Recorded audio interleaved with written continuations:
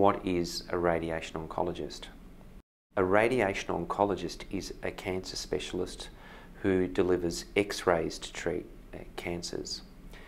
The x-rays that we use are identical qualitatively with the x-rays that you would be exposed to if you had a, hip x-ray uh, or a chest x-ray, only our x-rays are considerably more stronger. And because they are more energetic, uh, in addition to taking pictures, they have an added biological advantage of being able to destroy cancer cells. Radiation principally will kill the cancer cell by damaging the DNA and protein content uh, within a cancer cell. Radiation oncologists are commonly asked to either treat the primary tumour or occasionally we are asked to treat secondary deposits, otherwise known as metastases.